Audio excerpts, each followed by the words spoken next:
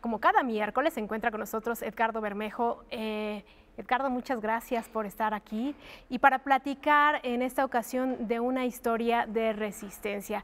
Un escritor que ha contribuido a construir la identidad bilingüe de un país, ha escrito, se ha dedicado a escribir en español en un contexto donde predomina el inglés. Edgardo, háblanos de Santiago Vaquera Vázquez. Exacto, gracias, Karen. Eh, justamente la, diáspora cultural, eh, cuando hablamos de la diáspora cultural mexicana y particularmente de la que se encuentra en Estados Unidos, de los millones de mexicanos que están en Estados Unidos, hay muy destacadamente un grupo de escritores, artistas, intelectuales, académicos que, eh, que representan a México en los Estados Unidos y que en muchos sentidos le dan una nueva dimensión a lo mexicano, lo mexicano que es a su vez norteamericano.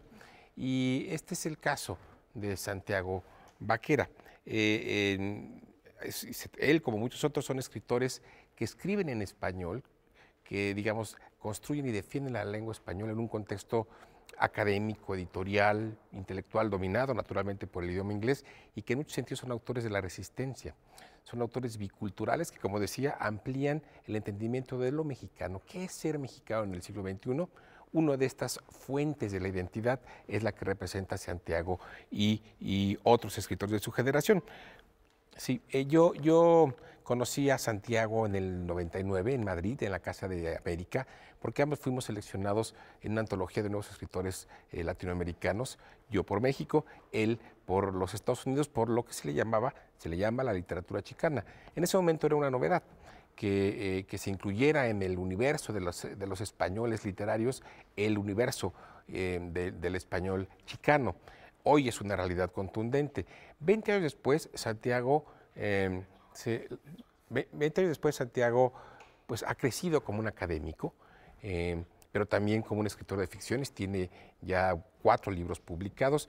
un poco su historia es que él, nació en Willows, en un pequeño pueblo de California, pero llegó, eh, sus padres acababan de llegar, acababan de cruzar la frontera. Como él mismo dice, él fue hecho en México, pero born in the USA. ¿no? De manera que creció en este doble ámbito cultural, por un lado, en el mundo californiano anglosajón, donde se formó y se educó, pero siempre con un vínculo a sus raíces culturales mexicanas, siendo su familia de Mexicali, en, Baja California. Este ambiente multicultural es el que le permitió estudiar eh, la literatura chicana, doctorarse, eh, ser un profesor muy respetado y eh, hoy mismo es, hoy por hoy es un profesor de literatura hispánica y literatura creativa en la Universidad de Nuevo México, en Albuquerque. Y bueno, eh, yo quiero un poco más hablar, hablar de él en estos, en estos minutos que tenemos para la diáspora cultura esta semana. Hablar, por ejemplo, de eh, un autor de resistencia que lucha por que se respete la literatura latinoamericana en Estados Unidos. ¿De qué manera se da a través de sus personajes y de sus historias? Sí, a mí, me gustaría incluso citarlo directamente. Creo que, creo que merece la pena eh, ver cómo se presenta él a sí mismo. Dice, soy un escritor chico que ha optado por hacer una carrera en español. Al tomar esta decisión, pareciera que me condenaba a la marginación, ya que la mayoría de la escritura latina en los Estados Unidos se escribe en inglés.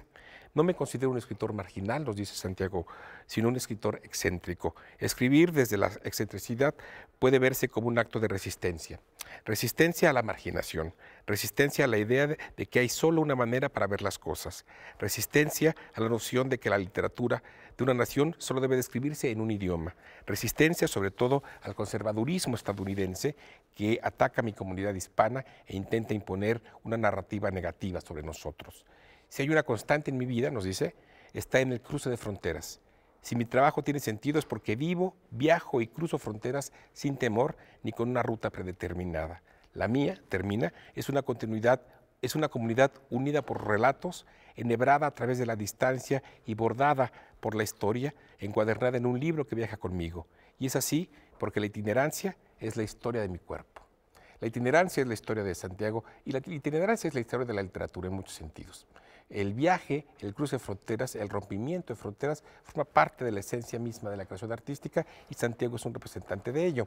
Y en un contexto como el actual, donde México constantemente se ve eh, digamos, eh, atacado en su identidad, en su imagen. Eh, en los Estados Unidos por los discursos más conservadores y, racistas. El trabajo de Santiago, el trabajo de la diáspora cultural mexicana en los Estados Unidos es absolutamente fundamental y estratégico. Justamente me entero que la Secretaría de Cultura y el Festival Cervantino tienen pensado que el próximo año al Festival Internacional Cervantino el país invitado de honor no sea un país, sino sea justamente la comunidad mexicana, la comunidad artística mexicana residente en Estados Unidos. Si esta idea, si esta iniciativa se, concreta, creo que será un enorme acierto y creo que, eh, terminando pues, cuando hablamos de la diáspora cultural, estamos pensando sobre todo en esos mexicanos que están construyendo una nueva identidad mexicana norteamericana, porque somos parte de la región norteamericana en muchos sentidos. Ricardo, para finalizar brevemente, la literatura de una nación no se escribe en un solo idioma. Exacto. Eh, y, en el caso del español literario que se construye en Estados Unidos, lo hacen un grupo de artistas, no solo mexicanos, que demuestran que hay otra manera de emigrar y que hay otra manera de viajar, que no solo es la historia de los indocumentados, de los trabajadores agrícolas, sino que hay un potencial, un patrimonio cultural, intelectual hispánico y mexicano en los Estados Unidos, enriqueciendo cada día su propia vida cultural y su propia vida académica. Muchísimas gracias. El próximo miércoles por acá estarás en Nos iremos a Australia la próxima semana. Bueno, pero te esperamos en la próxima Diáspora Cultural. Gracias, gracias Karen.